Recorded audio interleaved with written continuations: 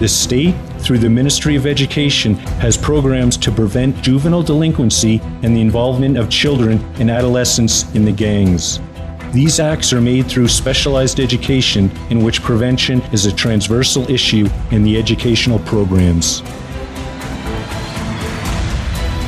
In July 2007, Interpeace, the International Alliance for the Consolidation of Peace, begins to implement the program Public Policies to Prevent Juvenile Delinquency in Central America, or.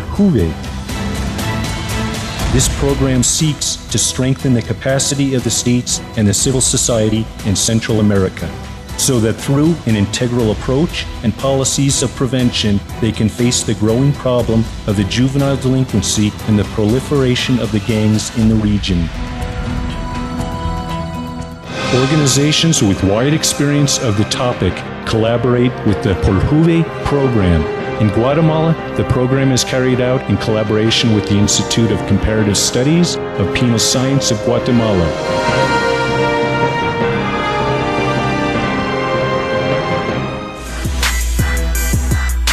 Societal organizations promote prevention programs for delinquency and juvenile delinquency focusing on work training, prevention of the use of drugs, and actions directed to implement measures for the security of the citizens.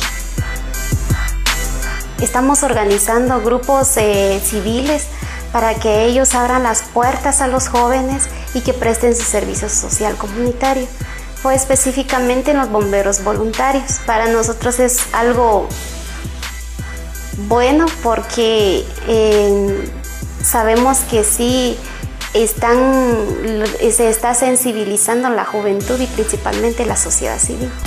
The group SEBA is an organization which carries out programs that have as their objective to rescue youths at risk for the social reintegration of those that have committed any crimes. El Grupo SEBA es una ONG que tiene 20 años de estar trabajando en el tema de violencia juvenil y drogas básicamente en el campo de la prevención. Nosotros, digamos, desde hace ya varios años hemos venido desarrollando una estrategia de intervención basada en tres ejes, digamos, fundamentales. Uno es el eje que nosotros le llamamos la calle o la Universidad de la calle, el eje de educación alternativa y el eje de empresa educativa. Uno pues, se convierte al final en un vehículo, en, en una posibilidad de acción de pensamiento, de reflexión en los barrios para ir buscando soluciones a sus necesidades.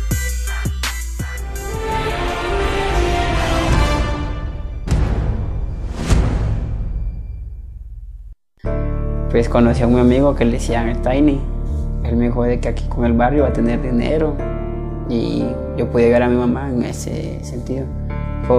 él no me explicó este, que lo era lo que contenía meterse a las pandillas, meterse a,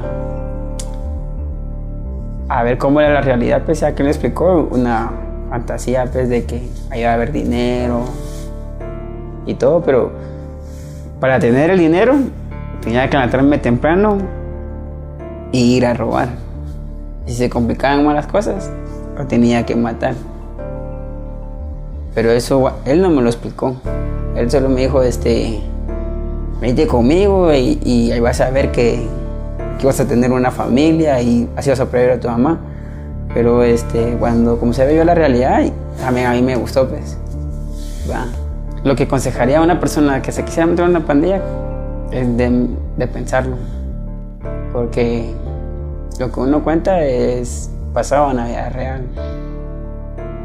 Este, de que lo pensaran porque los van a matar o van a estar en un hospital o van a estar presos para toda su vida. También tiene un precio y que conforme te vas involucrando vas hundiéndote cada, cada vez más y cada vez vas a ser más culpable. Pero yo creo que eh, obtener un cambio se requiere de agallas. En, la pandilla tú puedes tenerlo todo fácilmente, pero a la larga todo eso no lo vas a disfrutar. Todo tiene un precio y lo vas a tener que pagar muy caro. The problem of juvenile delinquency and the proliferation of the gangs in Guatemala must be seen from a holistic and integral approach that will treat not only the structural problems that provoke violence and its particular manifestations, but also the reestablishment of the social relations between the involved sectors. This dynamic includes the youth, state officials, organizations of the civil society, businessmen, and society in general.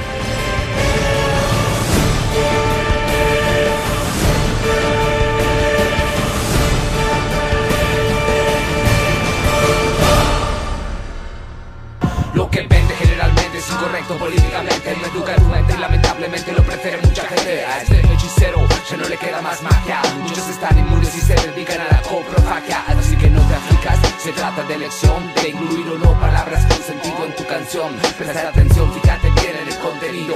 Bienvenido, el mensajero creativo. Inerte, me duele ver